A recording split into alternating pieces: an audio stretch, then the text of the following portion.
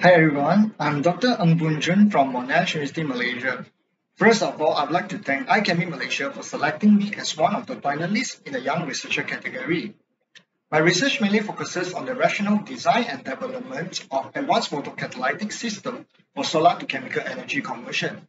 Photocatalysis presents a renewable avenue to convert either water or carbon dioxide into value-added fuels such as hydrogen and methane. Another highlight of my research is a smart assembly of wireless photocatalytic device for solar hydrogen production.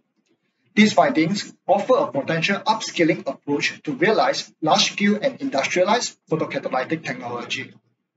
It has been a great honor for me to be part of the finalists in this award.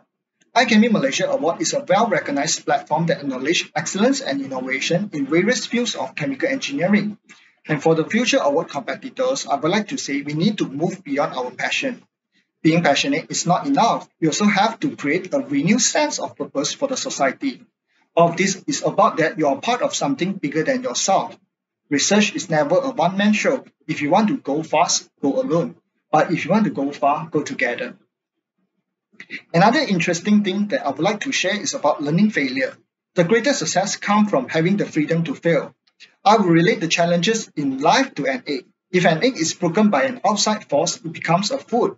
However, if an egg is hatched from the inside, a new life begins. Similar to the challenges that hit us in life, if the challenges break us from the outside, it is called stress. However, if we can handle the challenges and improve ourselves from the inside, it is called growth. So everything is about the perspective. On the final note, once again, I would like to thank IChemE Malaysia and also my research group let us work hard for the better tomorrow. Thanks.